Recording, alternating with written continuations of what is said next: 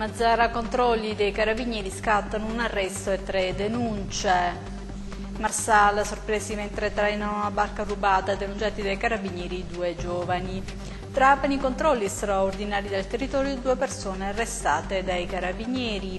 Elezioni, presentate le liste per le regionali in corso 12 mazzaresi per un seggio all'Ars. Calcio per un turno di Coppa, finisce in parità il match di andata tra Mazzarese e Mazzara. Benvenuti al TG Vallo, prima pagina. Apriamo con eh, la cronaca.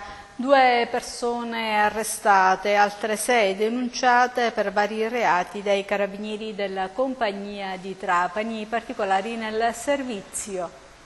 I carabinieri della compagnia di Trapani hanno effettuato lo scorso weekend una serie di servizi di controllo del territorio con il supporto dei militari del Reggimento Sicilia.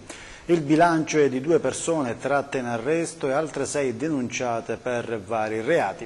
Un 35enne trapanese è stato arrestato per il reato di evasione, l'uomo pur essendo sottoposto ai domiciliari è uscito di casa ed è stato rintracciato dai militari per le vie della città.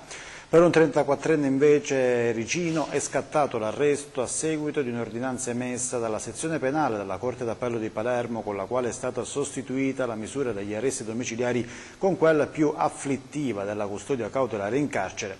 L'uomo infatti è stato sorpreso più volte fuori dalla propria abitazione. Due persone invece sono state denunciate rispettivamente per porto di armi atti a offendere per la violazione degli obblighi inerenti alla sorveglianza speciale.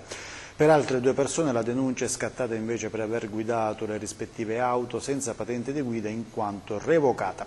Infine altre due persone sono state denunciate per guida in stato di ebbrezza. I carabinieri infine hanno segnalato alla prefettura di Trapani tre persone come assuntori di sostanze stupefacenti. Due marsalesi sono stati denunciati con l'accusa di ricettazione dai carabinieri il servizio. Due marsalesi sono stati denunciati dai carabinieri della compagnia Lilibetan con l'accusa di ricettazione. I due uomini di 24 e 30 anni sono stati trovati in possesso di una barca di 6 metri e mezzo risultata rubata poche ore prima da un pontile nel Trapanese.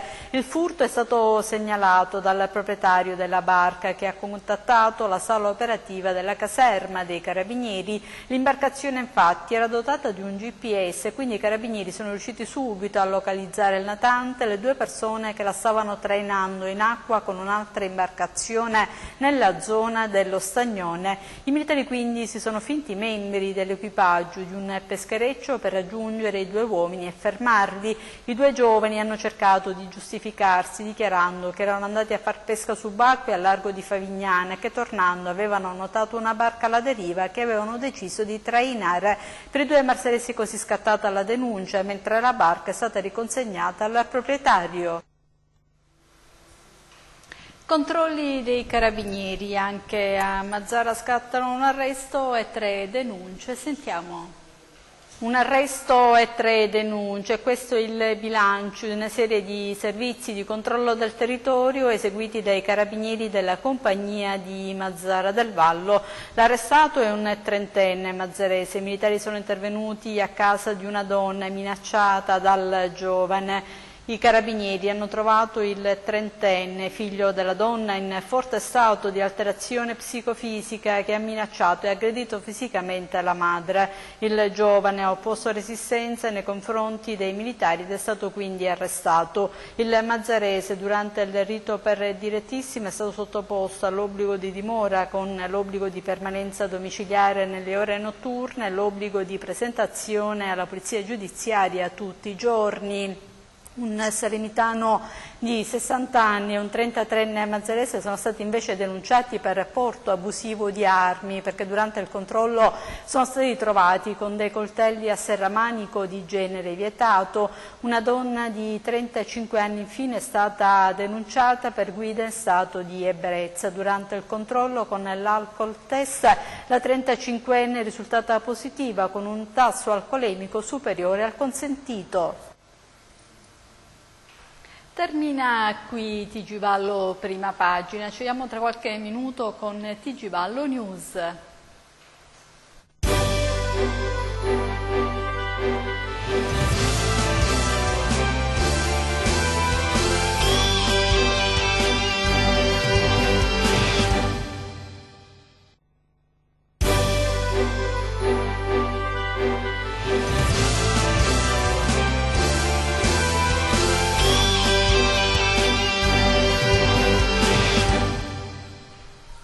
Benvenuti al TG Vallo News attivato il trasferimento di migranti da Pantelleria giunti sull'isola nei giorni scorsi durante alcuni sbarchi, lo ha reso noto la prefettura di Trapani. Dopo la partenza di un primo gruppo di 80 immigrati avvenuta nella serata di sabato, ieri sono partiti altri 170 migranti avvalendosi dei traghetti di linea della disponibilità della Guardia di Finanza e della Capitaneria di Porto. Analogo trasferimento trasferimento è stato effettuato sempre nella serata di sabato anche presso le isole di Favignana e Marettimo interessate da piccoli sbarchi.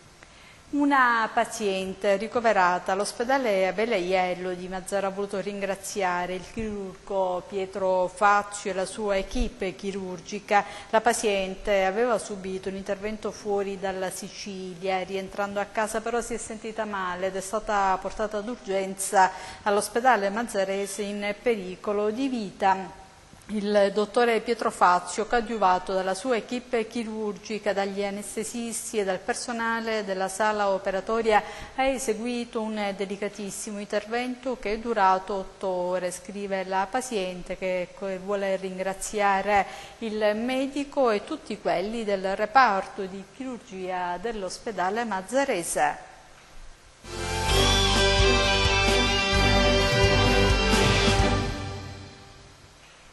Ed ora la pagina dell'informazione elettorale. Parliamo di elezioni regionali, sono 12 i mazzaresi candidati all'Assemblea regionale siciliana il servizio.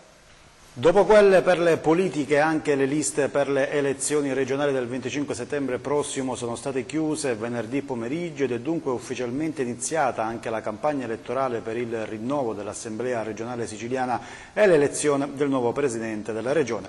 In provincia di Trapani sono state 15 le liste presentate per un totale di 74 aspiranti deputati regionali. Gli scranni in palio però sono appena 5, come nel 2017 la guerra elettorale dunque sarà molto difficile per tutti.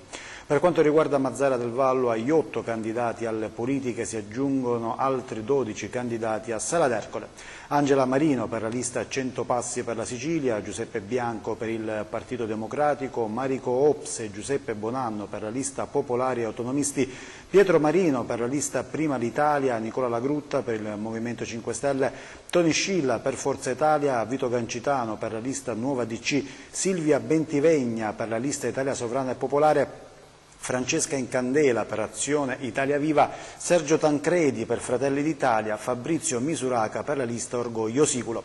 12 mazzeresi in corsa dunque per conquistare almeno uno scranno in Assemblea regionale che si aggiungono agli 8 in corsa per Camera e Senato.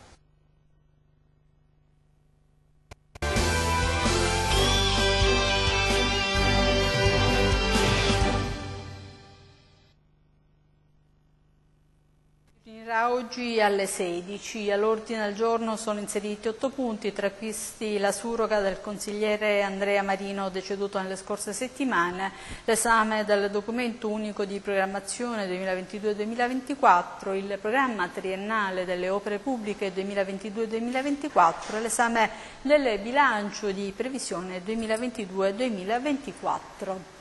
Termina qui TG Vallo News, ci vediamo tra qualche minuto con TG Vallo terza pagina.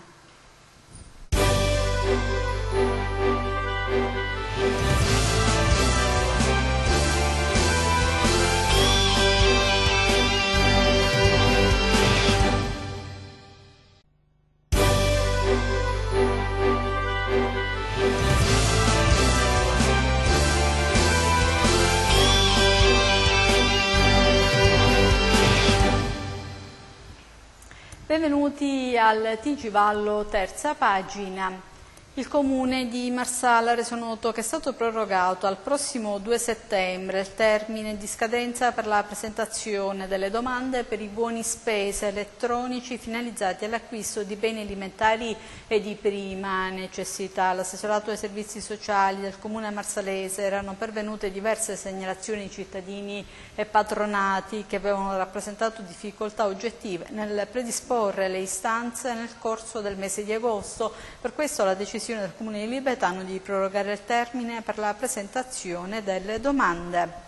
Anche nell'estate 2022 la spiaggia di San Vitolo Capo ha ospitato cani Labrador addestrati per il salvataggio delle persone in mare.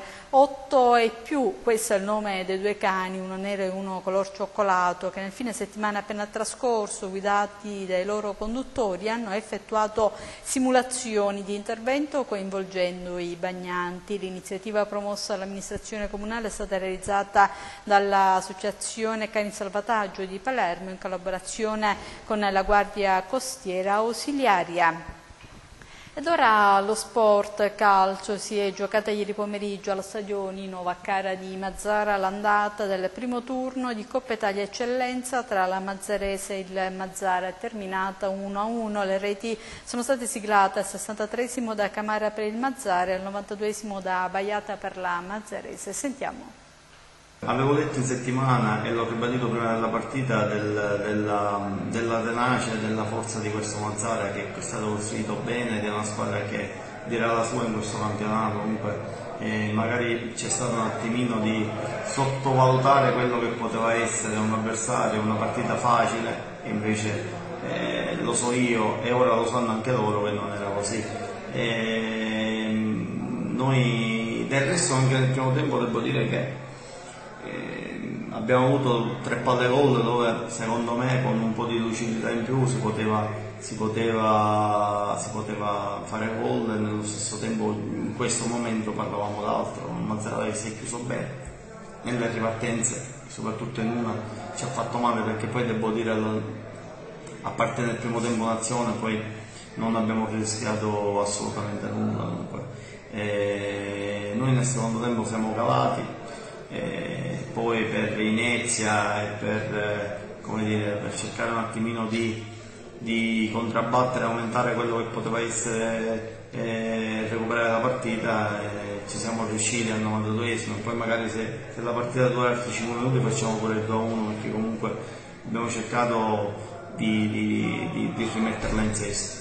Sì, sì, alla vigilia ci mettevamo la firma per un pareggio perché la Mazzarese la conosciamo, una bella squadra organizzata, un ottimo allenatore, un, grande staff, quindi non è che dico che già eravamo scontate che perdevamo, ma diciamo che la differenza era, si vedeva. Però alla fine, come dici tu, abbiamo l'amore in bocca perché assaporavamo la vittoria, al novantesimo hanno fatto questo gol. E, che i miei giocatori dicono fra l'altro che è in fallo, ma indipendentemente l'1-1 ci sta bene. E poi ci sarà il ritorno, la partita si gioca su 180 minuti, non si gioca su 90 minuti. Abbiamo fatto bene, abbiamo fatto bene, come ho detto ieri eh, in stampa, eh, ci credevo, voglio passare il turno, i ragazzi mi seguono, i ragazzi hanno la cultura del lavoro, lavorano tanto, quindi anche se ancora siamo al 50% mi mancano i due attaccanti, come sapete tutti, non si possono ancora tesserare, manca qualche cosa, quindi va bene, siamo contenti, ma ancora dobbiamo fare tanto. E con lo sport è tutto, vi lascio alla programmazione in onda sulla nostra emittente. Grazie per averci seguito, arrivederci.